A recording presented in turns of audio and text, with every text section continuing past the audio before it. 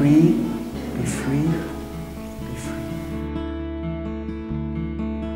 Free.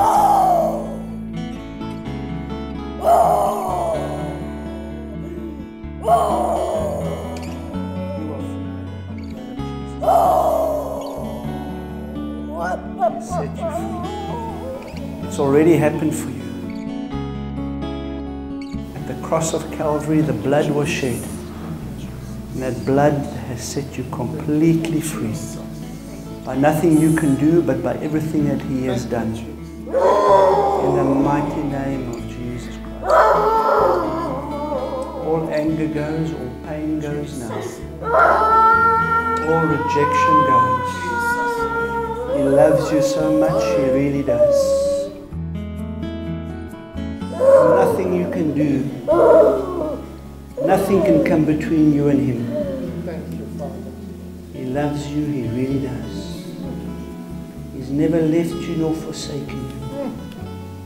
I come to set you free today for every sin. You are free. I've come to bring you life today. I've come to bring you peace today.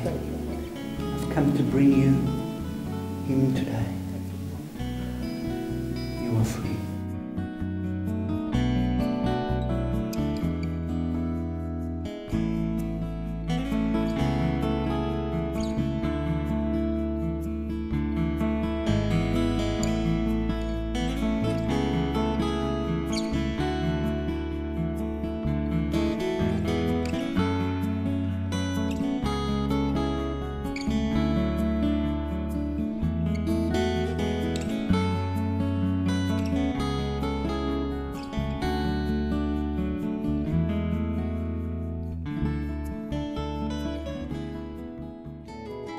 You don't have to wait, wait to go to heaven. You can receive heaven on earth. You can receive your inheritance of goodness without condition because He took everything on the cross for you. He took everything on the cross.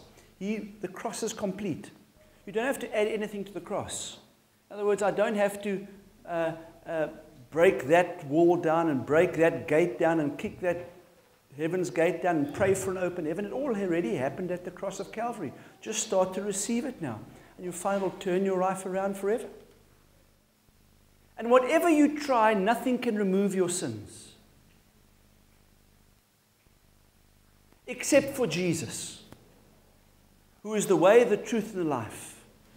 And, by, and through Jesus, you're able once again to come into the presence, come into the Father, come to that place that you are looking for, come to that place where you are hungering for.